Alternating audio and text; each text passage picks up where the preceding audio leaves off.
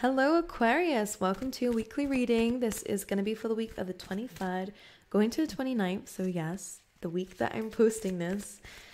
Always late for you guys. I'm going to have to put you first next week, if I'm being honest with you. But I'm going to jump straight into it and see what's going on for you guys. Okay, let me just fix my screen very quickly, actually, first. There we go. Okay. Let's get cozy, Aquarius. I feel like that's got some significance. And a number four is really important for you this week for some reason. It's your fourth house, actually. So, like, your home, okay, could be very important.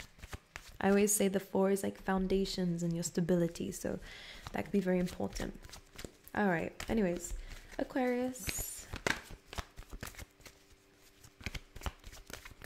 Aquarius. For Aquarius. There's so many. Spirit, no way. I'm sorry. That's way too many. All right, one more. Please for Aquarius. Thank you. Ooh. All right, current energy, please. Oof. Who is the Scorpio, Pisces, or Cancer who emotionally manipulated you? It's only for some. All right. I'm gonna deal with this, right? All right, this is your current energy. Some of you could be waiting for closure here from somebody. Just bit my own teeth, like my teeth just hit together. Anyway, doesn't concern you, but I just thought I'd say it. It feels like there is like a, a very uncomfortable situation that you've been in. That's what it feels like. And maybe because of betrayal, maybe because of you know some sort of lies have been caught up have caught up to somebody or um, maybe we've been self-sabotaging and now it's kind of caught up to you as well. Like there is this like energy in your current position of having some sort of deceit or i feel like this is like backtracking. And you're the three of wands so this is a waiting energy. You could be waiting to find something out but your intuition may have already told you it was not good, or could be waiting for again someone to come back to you. Clarify the Seven of Swords. Four of Swords. So you're healing from this energy still. Um, and the Three of Wands, what are we waiting for? The Ten of Pentacles. All right. Okay, okay. No quick schemes, sorry. Um, I kind of feel like you could be trying to rush something that needs some time. That could be healing, that could be your journey in general, okay, like a goal. Because um, what you're waiting for is a Ten of Pentacles, and that's what the Three of Wands is kind of anticipating. This could be a home, uh, this could be finances, all right, prosperity and abundance of finances, very stable energy.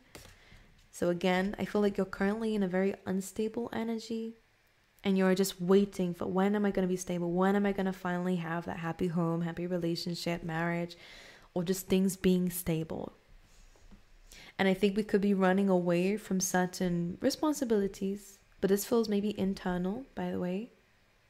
Um, some of you, I'm hearing you could be like cheating yourself here by cutting corners or stuff like this. Like, very sorry. This is a very random reading. I'm not gonna lie. But this week, what I do see is that we're kind of being faced with responsibility. Let's just be honest. We have the clear up card coming through. So this card usually kind of comes through, at least in my mind, as a bit of like aftermath of the tower card. And it can be very difficult when someone has left you with the mess, Aquarius. And we've had a lot of difficult readings for you in the past regarding, you know, narcissism and, and people like that and having having having been through situations like that having to clear up the mess having to heal having to kind of do that closure by yourself like i do kind of feel like something has been left on you. This could be work whatever it is. Someone has been yeah okay. I'm trying to get my words out trying to figure out what this is but i'm going to say it in a very general way because it could resonate in a lot of different things but someone has been very sneaky and kind of removed any responsibility that they needed to take on this situation and maybe left it all on you. Uh, if this is a past relationship, I feel like this person is continuing con- going to continuously not take any blame not be responsible at all for their mess. I even think that you might not even ever get an apology from this person or any kind of true closure from the situation, even if they do come forward. All right. Aquarius, some of you could have like Virgo energy, be dealing with a Virgo, okay? Um, our responsibility in this is healing from it, and I know it can be tough, especially where it's like, but they did this, and you know, all I did was good things. Of course, and we can't control others, but we can deal with how we're going to move forward from this. And sometimes it is a need for rest, sometimes it is a need for healing. Okay, um, learning how to manage our emotions with this situation, especially when it has been a bit unfair. The clean up card is again kind of doing what you need to do. It's a very independent energy. The stag energy is all known for leadership and taking the lead and taking responsibility and, and taking action, most importantly. So there may have been some time where you, you know, were so affected by the tower that, you know, you tried to deal with it the way that you needed to, but may not have been the most productive, of course, or the most or the best way of doing it. But now that you've kind of got something out your system, maybe very random, very specific. It doesn't have to resonate with you guys, don't worry. but it's for someone out there. Now it's time to get into the serious stuff and to really actually clear it out. This could be physically clearing things and no longer hoarding things and stuff like that, but it's coming from a challenging time. Okay. You then have chaos and conflict coming after this. So this kind of feels like there is going to be some changes within yourself when this happens. Chaos and conflict can, of course, be again, it's a very uncomfortable situation, one that there has been a lot of chaos and conflict involved. There may be a lot of like chaos around you because of this kind of stuff, you know, whatever has happened, of course. What I always say is this is that the truth is being revealed, the true colors of people are being revealed, and that includes yourself. This is about learning to align yourself. You have a lot of threes in your reading two and a one goes to a three. You have three, three here. So three is about aligning yourself to a goal, to whatever the universe and you are working hard on, whether it's subconsciously or consciously. And it feels like a new you is coming through. I'm sensing a glow up here, but it's coming from like the most chaotic situation. It's almost like a diamond in the rough, is what I'm hearing, or like a lotus flower you know from very like murky waters this beautiful flower like blooms and blossoms and that's you. You've come from very difficult situations. So you're kind of doing the impossible. By the way you then have loyal hearts which another three is on here. So this actually speaks of kind of attracting in love. It may not be something that you want right now and i actually kind of feel like you might bump into this person like very randomly Maybe when you least expect it, at least want it. But this is a very loyal energy. This is like Emperor, Empress, regardless of gender. This is like a very beautiful balance of energies. It's like the yin to your yang if you want to be romantic. Um, so that's something to look forward to. Maybe something that deep down you're kind of wishing you had. Just for the stability of it. I think things have been so chaotic and up in the air for so long that you're just really wanting stability. What the blockages this week? Two cups, so love is being blocked. The Emperor and the Three of Swords. There's a lot of pain. And I think that's why the Emperor energy is blocked. Because some pain has kind of been like very difficult for you to process and heal from. So there's been maybe a lack of leadership in your life, lack of control in your life, feeling like everything is kind of going crazy around you. Maybe there's a need for more masculine energy within yourself, regardless of gender, as I say, more action taking, more emotional control, or not just control, but maturity. Being able to kind of seek a plan despite the chaos that may arrive, arise, or seeking help even as well. This could be an Aries that kind of hurt you here. This could have, for some of you, this if it is in terms of love and it's a masculine energy, there could have been some chaos in the home when you were a child because of a masculine energy, okay? So there might be some wounds here that are for us to deep down heal from. This could be again blocking a masculine energy for coming into your life because of this pain that, that might come with it. Okay, so with the Two of Cups, there could be someone already in your life that is kind of waiting for you, but you're just not ready for it because, again, you're healing from something.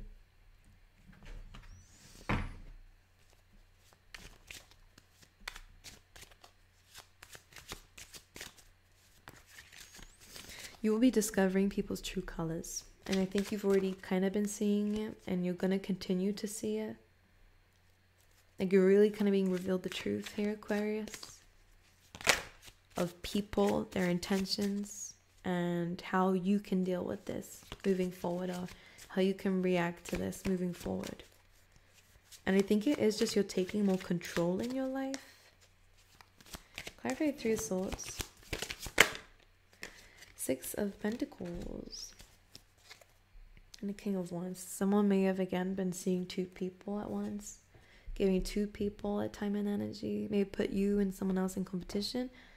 Maybe again you're dealing with some like rejection wounds here, like a fearful of going towards that job because of fear of being rejected, maybe because you were rejected, you know. If rejection is God's protection, as they say always, it, um, you can never miss something that is yours, as they say. So I think it's about understanding that. Two of Cups here. The Fool. So for the Two of Cups to be a blockage here is like lack of wanting to take a leap of faith here in a loving situation because maybe of your emotions, right? A fear involved with this because of maybe your sensitivity or a fear of diving into that sensitivity, maybe a fear of stepping up into this um, divine feminine energy, or maybe there's a lack of this coming through, a lack of knowing your worth.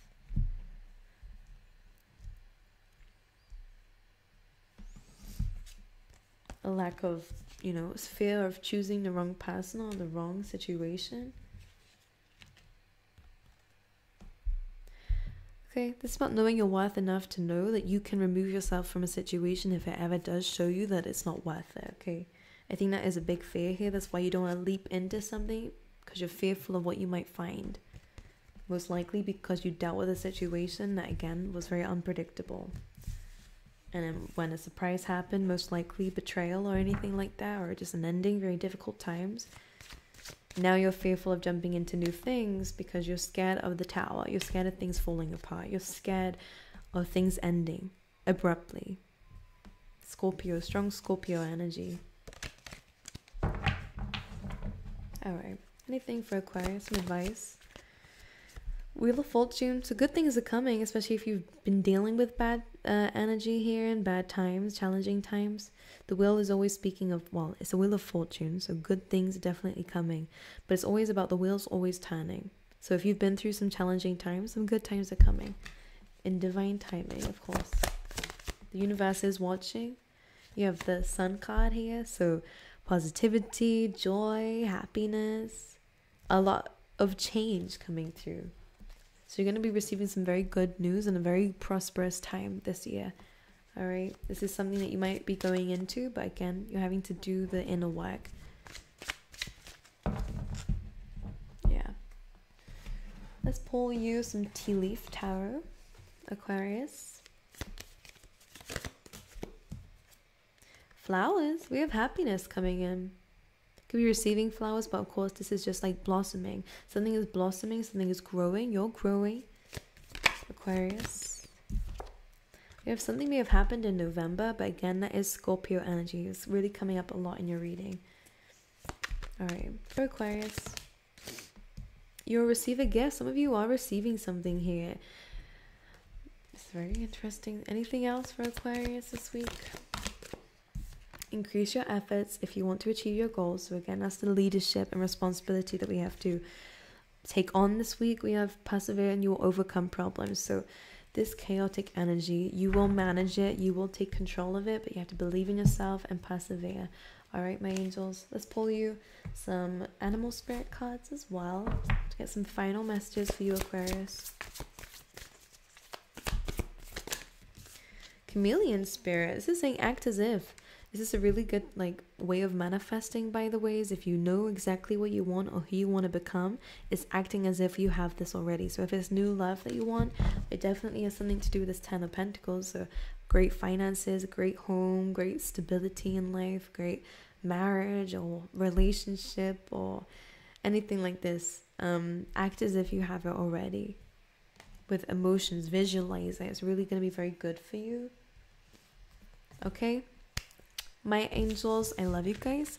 Wish you all the best. Good things are coming. Don't you worry, Aquarius. I hope this reading has been helpful to you. Um, thank you always for coming to visit me. I wish you all the best, and I hope to see you guys next time.